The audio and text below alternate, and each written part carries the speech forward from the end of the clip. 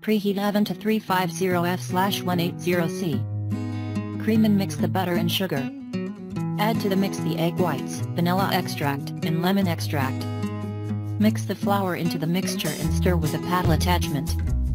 Pipe 1 inch, 2.5 centimeters, portions of batter onto a lined sheet pan, using 1 4 inch, 6.35 millimeters, plain tipped piping bag.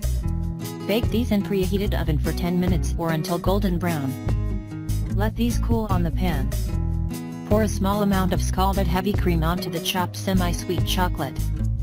Whisk the chocolate and cream mix until these two ingredients are melted together. Blend well. If you want, you may add the orange zest. Let this mixture cool. Spread thin amounts of the mixture onto the flat sides of the cookies, while still warm, soft, and pliable. Press the flat side of a second cookie on top. Enjoy cooking! And please support us to subscribe my channel.